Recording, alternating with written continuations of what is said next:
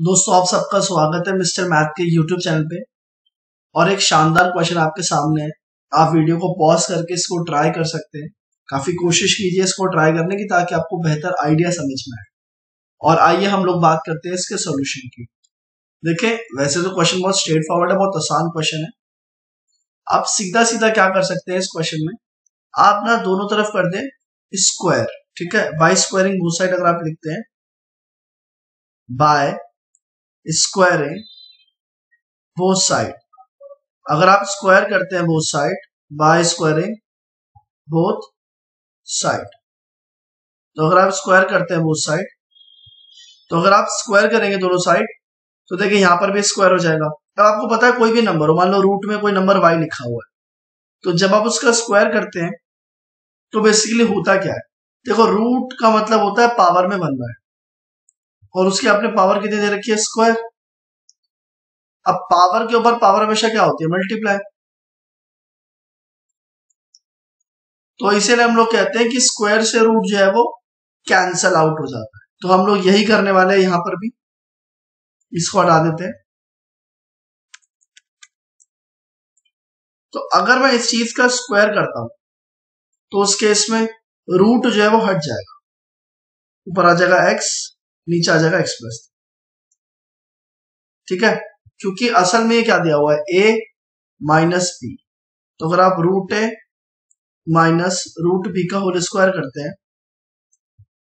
तो हो जाएगा रूट ए का होल स्क्वायर प्लस में रूट बी का whole square minus two A B होता है। Minus two into A into अब रूट स्क्वायर यहाँ पर हट जाएगा तो ए बचेगा खाली, यहाँ पर खाली बी बचेगा, यहाँ पर बच जाएगा टू और रूट पूरा आके ए भी अंदर आ जाएगा तो इस तरह से आपका ये फॉर्मूला बन जाएगा। इसी पैटर्न में मैं आपको ये क्वेश्चन जो है वो चेंज करने वाला हूँ। तो आई होप कि ये बेसिक आइडिया आपको पता होगा, ये आइडेंटिटी है एल्जेब्रा में आपने नहीं सीखी है तो आप सीख सकते हैं। ठीक है? अब अगर इसका होल स्क्वायर करोगे तो A square plus B square तो एक्स प्लस थ्री का जो स्क्वायर है, वो हो जाएगा एक्स प्लस थ्री और नीचे आ जाएगा X A square plus B square अब ए माइनस बी का वाला स्क्वायर है। तो A square plus B square minus two A B तो माइनस टू इंटू ए तो दोनों को इकट्ठा कर लो रूट में, जैसे कि मैंने रूट ए भी लिख दिया था, इन्हें मैं इकट्ठा करके लिख देता हूँ। एक्स अपॉन में X plus three multiplied by X plus three upon में एक्स और ये इक्वलेंट हो जाएगा इसके स्क्वायर के। तो माइनस के थ्री का स्क्वायर कितना हो जाएगा? यहाँ लिख देते साइड में नाइन और टू का स्क्वायर जाएगा फोर माइनस इसलिए हटा दिया कि स्क्वायर का मतलब होता है उसी नंबर को उसी नंबर से मल्टीप्लाई करना। तो माइनस से माइनस कैंसिल आउट हो जाएगा। अब तो क्वेश्चन बहुत ही आसान हो गया, देखें। ये कट जाएगा, ये कट जाएगा। बचेगा कितना? वन और रूट वन का मतलब तो वन ही होता है। तो बेसिकली पूरा रूट वाला सिस्टम हट गया। ठीक है? अब देखो ये वाला जो सिस्टम है ना, इसको आपको क्रॉस मल्टीप्लाई करना तो आप इसको उधर ले जाओ। एक्स को एक्स से मल्टीप्लाई करोगे, आ जाएगा एक्स स्क्वायर और इसको उधर मल्टीप्लाई करो। एक्स प्लस थ्री को अगर एक्स प्लस थ्री से ही मल्टीप्लाई कर रहे हो, अगर एक्स प्लस थ्री को एक्स प्लस थ्री से ही मल्टीप्लाई कर रहे हो मतलब कि आप करना क्या चाह रहे हो? उसका होल स्क्वायर करना चाह रहे हो। तो अगर आप उसका होल स्क्वायर करना चाह रहे हो तो आइडेंटिटी क्या हो जाएगी? A square plus B square plus two है भी ए स्क्वायर एक्स का square plus B square second वाली टर्म का स्क्वायर प्लस टू ए और बी तो सिक्स एक्स आ जाए। तो इस तरह करके मैं वहाँ पर आइडेंटिटी खोलने वाला हूँ। तो मैं इसको ऐसे लिख सकता हूँ। ये हो जाएगा A square plus B square plus two A और नीचे x से इन दोनों को मल्टीप्लाई करूँगा तो x, जब ये वाला x इस x से मल्टीप्लाई होगा तो x स्क्वायर हो जाएगा। और जब थ्री से मल्टीप्लाई होगा थ्री से तो थ्री एक्स हो जाएगा। क्यों? क्योंकि डिस्ट्रीब्यूटिव प्रॉपर्टी ऐसे अलाउ करती है आपको सॉल्व करने के। अब इधर ये तो पूरा वन हो गया था तो सिर्फ़ टू ही बच गया था माइनस का टू जब ये उधर जाएगा तो प्लस का टू हो जाएगा। तो नाइन बाय फोर के पास जब ये जाएगा तो प्लस का टू हो जाएगा।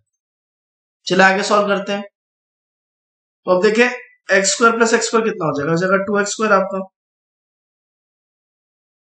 और प्लस में सिक्स एक्स दिया हुआ है प्लस में नाइन दिया हुआ है। आगे पीछे करने उससे क्या ही फ़र्क पड़ता है ना? और ये जो X square plus three X है, इसको भी एज इट इज़ लिख दिया फॉर नाउ अब आप यहाँ सॉल्व कर लो फोर टू हो जाएगा एट एट प्लस नाइन हो जाएगा सेवनटीन बाय फोर राइट तो अब आप क्या कह सकते हैं भाई? क्रॉस मल्टीप्लाई करते हैं फोर को उधर ले जाओ। और इसको उधर ले जाओ। तो फोर टू जा एट एक्स स्क्वायर हो जाएगा। फोर सिक्स हो जाएगा twenty four X. Four nine जा हो जाएगा थर्टी सिक्स। ये जब सेवनटीन एक्स स्क्वायर से मल्टीप्लाई होगा, हो जाएगा सेवनटीन एक्स स्क्वायर। और सेवनटीन थ्री से मल्टीप्लाई हो जाएगा, सेवनटीन थ्री से फिफ्टी वन एक्स। अब आप क्या, इसको उधर उधर लेके जाओगे राइट आप कह सकते हैं कि बॉस ये ट्वेंटी फोर भी उधर जा सकता है? फिफ्टी वन बड़ा है। एट भी उधर जा सकता है, सेवनटीन बड़ा है राइट तो थर्टी सिक्स भी उधर ले जाना। तो अगर आप सब कुछ उधर लेके जाओगे तो कैसा दिखाई देगा, देखो। तो यहाँ हम एक लाइन ड्रॉ कर लेते हैं सेपरेशन के लिए। तो बेसिकली इधर तो मान लीजिए ज़ीरो ही बच गया। एक साइड तो ज़ीरो बच गया, दूसरी साइड क्या होगा? ये सेवनटीन एक्स स्क्वायर जो है एट एक्स स्क्वायर जो कि पॉजिटिव है, जब उधर जाएगा तो माइनस का हो जाएगा। तो सेवनटीन में से एट जाकर के कितना बचेगा? नाइन बचेगा। नाइन एक्स स्क्वायर ये है फिफ्टी वन फिफ्टी वन में से ट्वेंटी फोर जाएगा तो उधर कितना आ जाएगा? देखिए फिफ्टी में से अगर आप ट्वेंटी फोर घटाएँ तो ट्वेंटी सिक्स आता है। तो एक और ऐड कर ले ट्वेंटी सेवन आ जाएगा राइट और ये जो थर्टी सिक्स है आप उधर ले आते हैं माइनस में। तो सारे एक साइड हो गए, दूसरी साइड कुछ नहीं बचा, इसलिए ज़ीरो लिख अब देखिए इस इक्वेशन में आप नाइन कॉमन ले सकते हैं। अगर आप नाइन कॉमन लेंगे, ऐसा हो जाएगा।